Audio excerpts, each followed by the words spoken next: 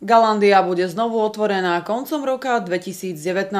Vyplýva to z harmonogramu plánovaných stavebných prác. Schváliť ho musia ešte poslanci. Návštevníci sa tak do kúpaliska budú môcť vrátiť až po 4 rokoch od jeho náhleho uzatvorenia.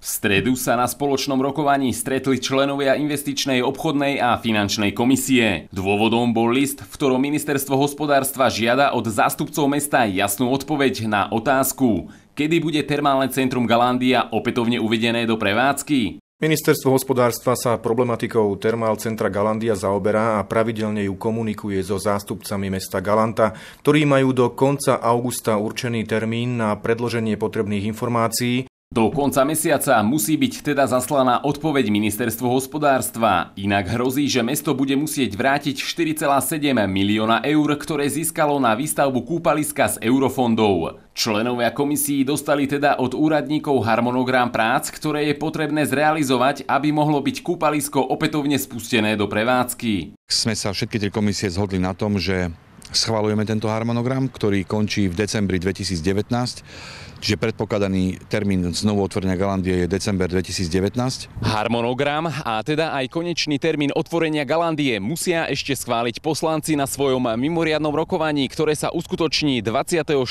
augusta. Až potom môže byť informované ministerstvo hospodárstva. Samotný harmonogram ale neobsahuje spôsob financovania a teda ani konečnú čiastku, ktorú bude musieť mesto zaplatiť za opravu. V tejto otázke sa zrejme poslanci a vedenie mesta nezhodnú. Myslím, že úrad tomu pristupuje e, veľmi veľkoryso. Masívna rekonštrukcia v miliónoch, ktorú spomínali z e, zamestnanci úradu, tiež si nemyslím, že je na mieste. Myslím si, že, že treba to urobiť so zdravým rozumom s našimi otázkami sme oslovili aj primátora, ktorý sa ku Galandii vyjadrí až po 24.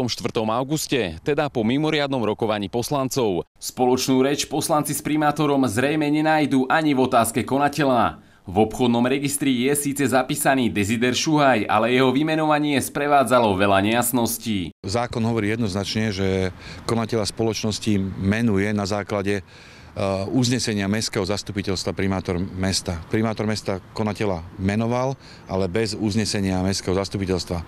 My sme zástancom toho, že by sme mali menovať uh, konateľa, ktorému dôverujeme. Viktor Bokor, televízia Kreja.